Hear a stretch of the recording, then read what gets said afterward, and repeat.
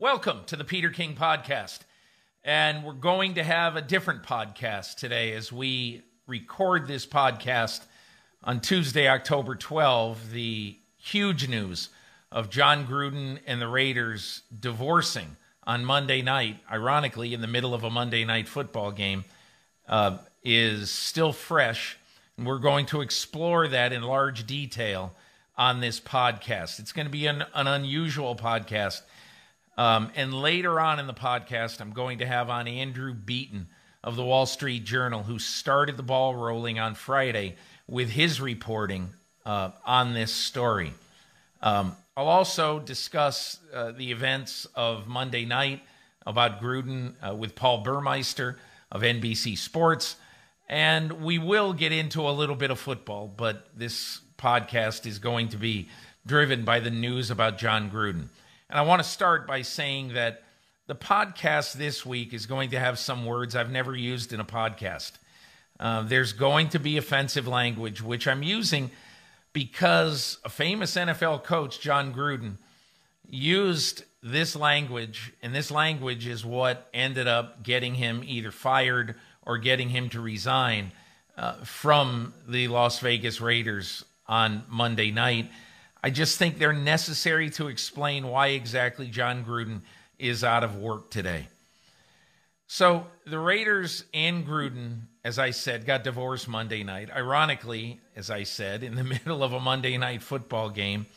Uh, and this whole story started with the Wall Street Journal's reporting on Friday that from a, a collection of 650,000 emails that the NFL had collected in conjunction with its investigation of the Washington football team. Several emails, offensive ones, were found uh, with Gruden in them and uh, uh, sent by uh, the Las Vegas Raiders coach. Now, understand this at the time that he sent these emails, most of the time, if not all of the time, Jon Gruden was not an employee of the NFL. He was an employee of ESPN. He was doing the Monday night football games on television. And so these emails came before he was hired in early 2018. So there was a lot of discussion about whether these emails should constitute a reason for any sort of discipline because he wasn't a league employee at the time. But the NFL sent all of these emails um, in in conjunction with this story to Raiders owner Mark Davis on Friday, and the Journal started this uh, when there was an email sent from Gruden to uh, Bruce Allen, who at the time was the president of the Washington franchise, calling NFLPA executive director D. Smith, uh, who is black, saying that he had lips the size of Michelin tires. Uh, ESPN reported more offensive emails with Gruden in them and sent by Gruden were sent to uh, the Raiders owner, Mark Davis. They reported this on Friday, or that they were sent on Friday, and yet Davis did nothing over the weekend.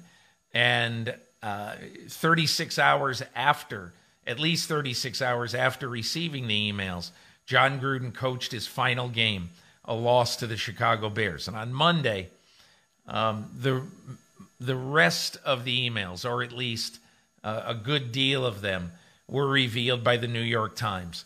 The Times said that uh, he had called Roger Goodell, and I quote, a f- end quote, and also called him a quote, clueless anti football end quote. And there was a lot more that the Times reported. He said that uh, Gruden was very critical of the league's efforts to get openly gay college player Michael Sam drafted, was very critical of the players protesting, taking knees on the sidelines in the wake of the Colin Kaepernick activism. And so there was a collection of these emails that Mark Davis then on Monday went to his office, looked for Jon Gruden, and Monday, late afternoon, they decided, uh, West Coast time, they decided that Gruden would no longer continue as the coach of the Las Vegas Raiders. So that is the basis of what all has happened. And that is what we're looking at today. And the Raiders, obviously, one of the surprise teams in the first month of a se- of the season, at least until a, a, a terrible performance on Sunday in a, in a home loss to Chicago. They had been one of the surprise teams of the early uh, weeks of the league, and now their season is in shambles. They will be coached on an interim basis by Rich Bisaccia. But this is not a story about the Oakland Raiders team on the field, uh, Oakland Raiders, Las Vegas Raiders team on the field. It's a story about uh, their former head coach off the field. And that is a summary of it. I'm going to bring in Paul Burmeister now. We'll have a discussion about what it all means. Uh, and Paul, I, I, guess I'll start just by saying, you know, when you heard the news Monday night, what were your initial thoughts? Initial thoughts were there. There was no other way. Uh, this was the only outcome that could have happened, whether it was a resignation or a firing, however it actually went down. It went from a situation over the weekend, Peter, that was uh, disturbing and offensive and certainly worth keeping an eye on to in a matter of moments Monday as we all got into the details and, the words and the the consistency with the behavior and the feeling that there was no other outcome. It was sudden, yeah, but it was I think more inevitable than it was sudden. You know, and I think the other part of this, Paul, is that you know Booger McFarland. I thought it made a great point on the Monday Night Football telecast, and that is that the NFL has all of these slogans that they put on helmets and put in end zones and racism, um, you know, among them, and has been very, very pro um, inclusion uh, with the LGBTQ uh, community. Um, welcomed Carl Nassib with open arms when his announcement was made in the off season. Um, and and and that's one of the reasons why you know, for those who are saying, oh, these are emails sent years ago, and really there aren't many saying that today. These are emails sent years ago.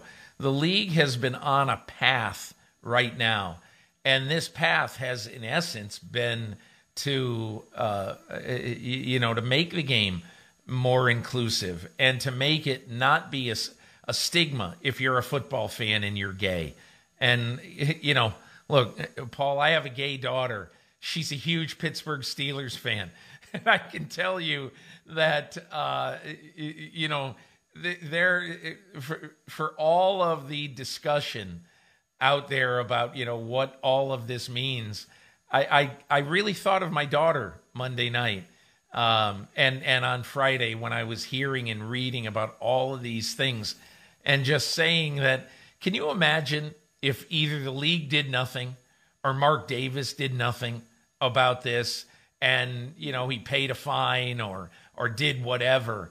I mean you know i think the people in the united states whatever the 8 or 9% whatever the number is in the united states uh, you know of people who are homosexual um, many of whom absolutely love the nfl i just i just kept thinking there will be a mass exodus of those fans, and I can tell you, including my daughter, um, who would who'd walk away from the NFL. So there's so many little tributaries. But Paul, I want to ask you specifically one question just about players.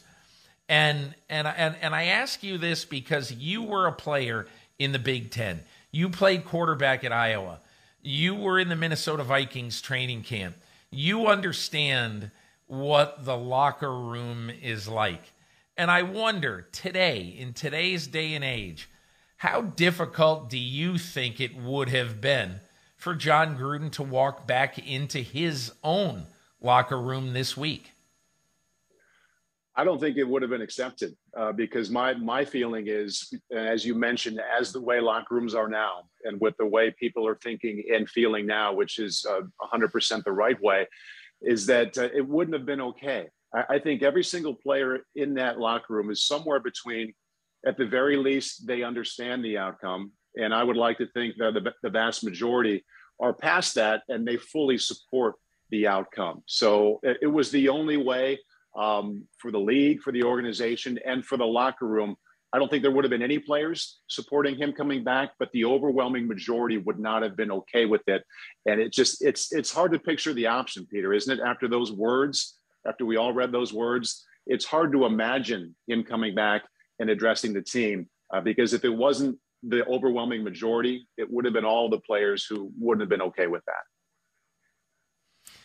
You know, Paul, um, I'm going to have further discussion, as I said, uh, in a few minutes on the podcast with Andrew Beaton of the Wall Street Journal. But I'll, I'll just I'll finish this part. You know, the the sort of non-football but a big effect on football part of the part of our discussion today with making this point that uh, on Tuesday morning somebody asked me on Twitter. Um, you think that there's any chance that Gruden would get a college job? And I responded, and look, I used to be very, very active on Twitter. I am much less so these days because Twitter basically is a can't win place. Um, and and and this and this person who, who asked you, you think you get a college job? I wrote, and I said, would you send your child to play for him? And I don't know, before we recorded, I just looked at a lot of the mentions, and I'd say 20 or 30% of the people said some version of yes, absolutely, I would. Um, so that's really the country we live in. We live in a divided country. We live in a country where a lot of people are going to say Jon Gruden didn't do anything wrong or he did very little wrong. But in this environment today, it's not, this is not a cancel culture move by the Las Vegas Raiders and by owner Mark Davis. This is a move of inevitability. There was no other decision that could have been made. And anyone who says otherwise, I think, is fooling himself because, in essence, you have to be able to coach a diverse group of people the NFL is majority black today. And it's pretty hard to walk into a locker room and to coach a team of players who are majority black when you are on the record as making the kind of racist statements and the uh, anti-gay statements, it, eh, all the statements he made, it just would have been very hard to come back in. And and Paul, I guess I'll I'll just end with this that Jon Gruden is going to go down in history as um, basically as as really a controversial person, obviously. But I wonder if history, when judging him as a coach, will judge him as a better coach than he really was. Because in his career, Jon Gruden was 60 and 57 as a coach of the Tampa Bay Buccaneers, won a Super Bowl there, obviously, but was three games over 500 in the regular season with the Bucks, and then was 62 and 59 with the Raiders, three games over 500 with the Raiders in his last three full seasons. Never brought the Raiders to the playoffs after being signed to a 100 million dollar contract. So and again, this is the ninth story on a day like this. But the fact is, I think we ought to realize that this is a huge, huge story. But Gruden was a little bit of a creation of the media, of an invention of the media. And I get to work at 3:17 a.m. I'm, you know, and all this. And I just I now look at sort of the myths sometimes that we make and say Jon Gruden was an okay football coach, but he was not a $100 million football coach. And a lot of people got sort of enthralled by the aura of Gruden, the charisma of Gruden, the the TV personality that was Gruden.